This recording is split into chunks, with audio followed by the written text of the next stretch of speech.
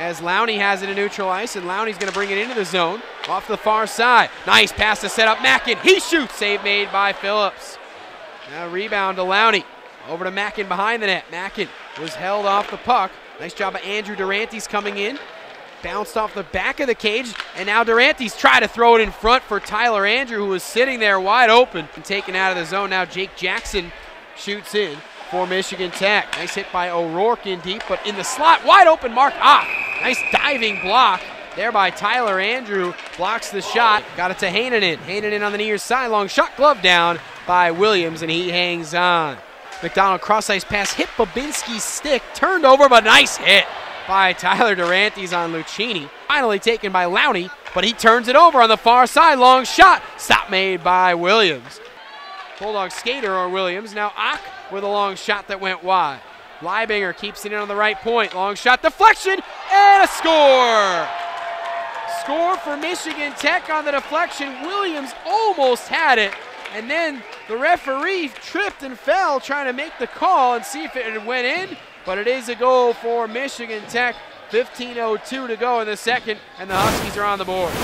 Well, it was a block. It went off the back of Ryker Killins' leg there initially, and Michigan Tech keeps it in the zone. Uh, throws it on net. Looks like it takes a little bit of a hop, hits Charles Williams. He couldn't get it. Robertson over to McDonald. In deep, Mackin. Now McDonald's shot was blocked. Rebound kept alive by Robertson, but it's out of the zone. Minute 10 to go on the two man advantage for Ferris State. And it's brought in on side. Schempp near side for Mackin. Mackin back up top, McDonald. Over to the far side, Robertson. Robertson shoots, deflection, save made. Rebound on the doorstep, Mackin scores! The Bulldogs tie the game on the power play.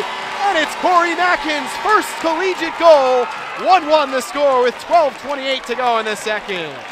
Hey, it's a squeaker, but when you look at the score sheet, Corey Mackin can say he went bar down for his first career collegiate goal.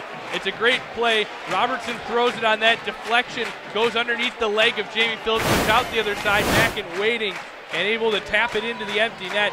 Again, Robertson moving to the center part of the ice through some traffic there. Phillips never controlled it. Schempp with some tenacity on the goal line to push it through to Mackin, and it's one to one. And that'll put the crowd back into the game now. And Ferris State with possession. It's Mayhew. Flipped it to the far side, Tierney, and he stashes into the far side corner. It's picked up now by Jimmy Davis. Stolen away. Chance for Robertson. On the doorstep, they score! Schempp from Robertson. The Bulldogs take a 2 to 1 lead. 9.41 to go in the second period. Kyle Schempp, we mentioned earlier, had that look that he was coming tonight, and he's got two points for the Bulldogs. But a great play by Robertson earlier in the shift. He comes right back and gets the first assist on the second goal of the period for Ferris State. Well, that's just a great play by Robertson, recognizing he's a guy across. And there's the key.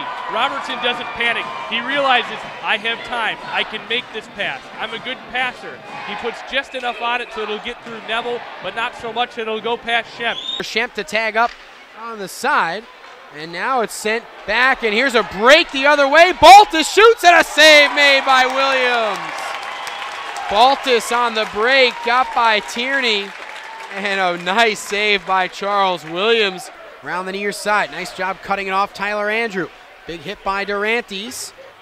And it's gloved down by Gould. Misplayed it. Here's a look for Andrew Durantes. In front. Andrew scores!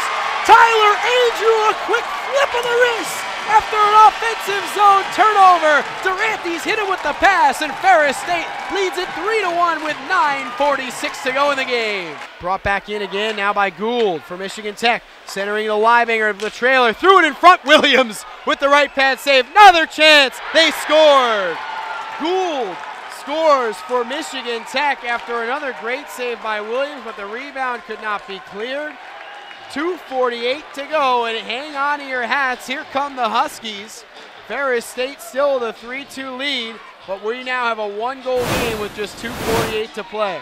Malcolm Gould with his second of the night. And it's a great initial save there on a turnover in the neutral zone and thrown in front, comes back out. Uh, Mayhew and Babinski unable to clear the puck away from Malcolm Gould, who steps back from the top of the crease, able to backhand it to himself. A little bit of a fan job there in front by, believe that was Killins who was on his knee.